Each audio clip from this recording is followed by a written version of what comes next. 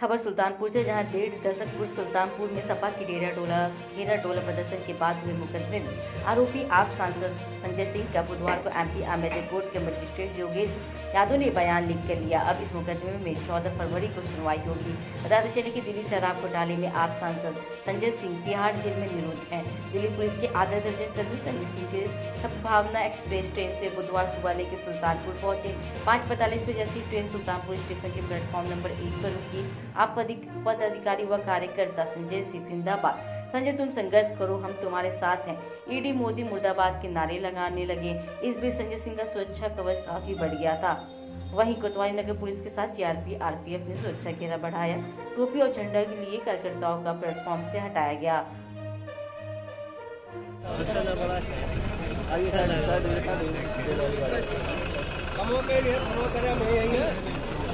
अपना तरफ़ क्यों कर रहे तो हमका फ़ोन कर लिया तो एनी टाइम तेरे गाड़ी पहुँचा दिया हमको मिला नहीं है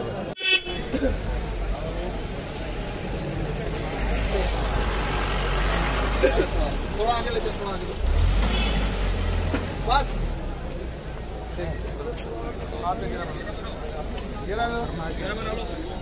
जिस तरह से जो माधव प्रकाश में है उसको बिल्कुल कहना गलत होगा। सुल्तान भी ऐसे लोग हैं जो चाँद के ज़मीन खरीदने की क्षमता रखते हैं और रखते हैं। इसी को लेकर के एक व्यक्ति ने जो रहने वाला उन्होंने चाँद पे ज़मीन ले लिया है, जिसमें उनको ईमेल के द्वारा पेपर मिल गए हैं, बल्कि अभी हार्ड बाकी है